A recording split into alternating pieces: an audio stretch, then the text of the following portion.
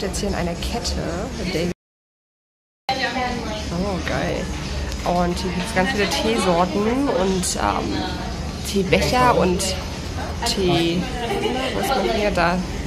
Tee-Dinges. Also super geil. Yam Yam?